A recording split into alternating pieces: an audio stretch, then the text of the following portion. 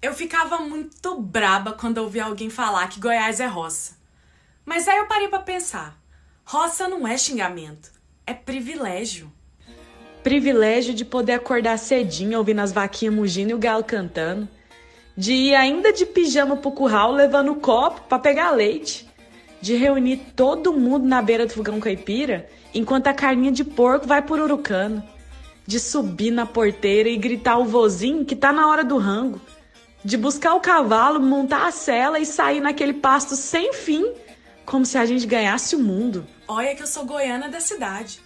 Mas sempre que o estresse bate, o coração aperta e a tristeza vem, é assim que nós cura. Na roça. Na roça, ninguém quer prédio, quer árvore. Ninguém quer paletó e sapato social, quer camisa xadrez e botina. Nós não quer correr, quer andar. Não quer só existir. Nós quer viver. Nós somos um povo que tem tempo para trabalhar, para sorrir, para beber e para chorar.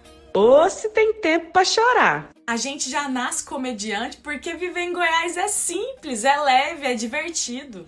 Enquanto vocês estão inventando a primeira piada sobre goiano corno, nós já fez três. Nós chega no bar cedo e só sai quando o garçom tá chorando junto com nós.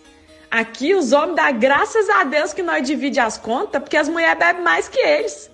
Nós bebe pra sorrir, pra chorar, pra esquecer e pra lembrar também. Nós cumprimenta gritando, ô!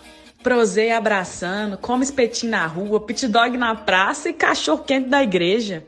Vocês gostam de ver televisão e nós gostamos de ver gente. Vocês têm praia de mar, nós tem praia de rio. Vocês têm shopping, estádio, eventos. Nós também. O que incomoda mesmo aí é o que vocês não têm.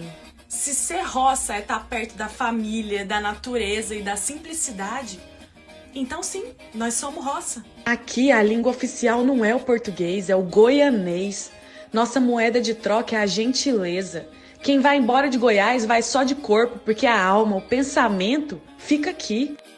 E sim, nós falamos errado porque nós quer. É que ser goiano é nossa identidade.